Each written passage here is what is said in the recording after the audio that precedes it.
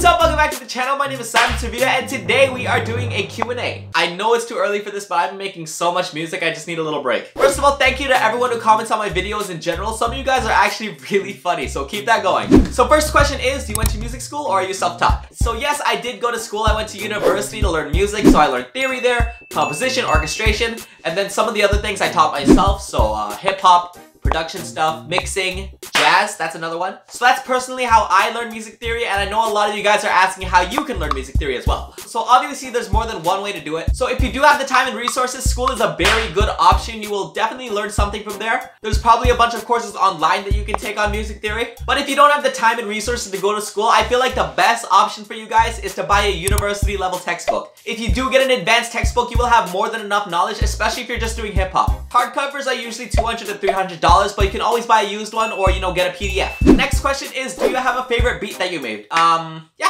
yeah. A few weeks ago, I made this tango beat. It's called La Pasión, and that's probably my favorite right now. It's probably gonna change within the next month or so, because it usually just keeps on I just keep on, I just keep on getting better. Like, you know how you... Next question is, how do you get three tempos in a single project, bro? Good question. Right click the tempo, go to create automation clip, then right click to create new automation points and left click to adjust them. You can do this multiple times in a project. Next question is what is my setup and what do I use? Focusrite Scarlett 2i2, Sennheiser HD280 Pro, Nektar Panorama P6, Shure SM57, KRK Rokit 6s, two of them, bah bah. And the piece de la resistance is down here, bah.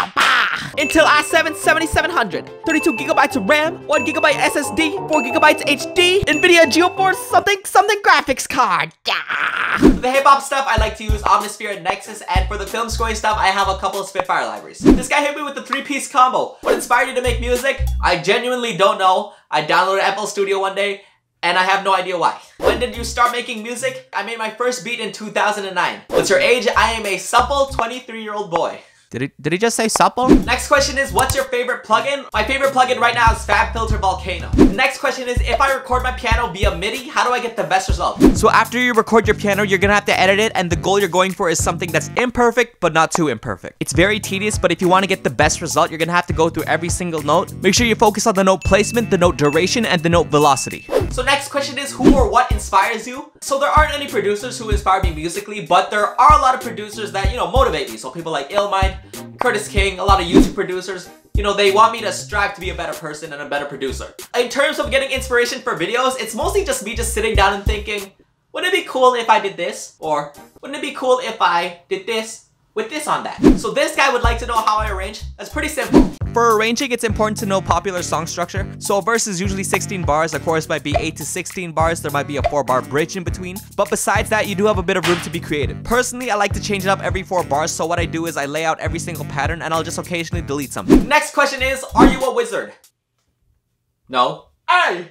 Hey! Yeah? This guy's asking me if I'm a wizard! What kind of stupid question is that? I think it's calling you a wizard because it implies your music possesses such a magical quality. You should probably take it as a compliment. Oh, oh, thank you. The last question is, can we collab? And yes, I would like to. So I'm gonna be quitting my day job in the next few months and I'm gonna be doing music full time. So I'm planning to have more beats for my website, more videos for you guys, etc, etc. If you're still interested in collabing with me, make sure you email me or DM me on Twitter. If you wanna do this, make sure you go hard, because I only go hard. Because like, I don't wanna have a beat that's half hard and half not hard. You gotta go hard as hard as I'm going hard. Thank you so much for watching the video. I hope you enjoyed it. If you would like to see another Q&A, all you have to do is comment below. So don't ask me personal questions, ask me general music questions, because I might know the answer to those. So instead of making tutorials, I can answer like 10 of these in one video, which is let's be throwing away the questions, because I answered them. That's what this gesture is. If you have any suggestions, leave a comment. If you like this video, leave a like. If you really like this video, subscribe. If you didn't like this video, leave. Just leave. Get out of here.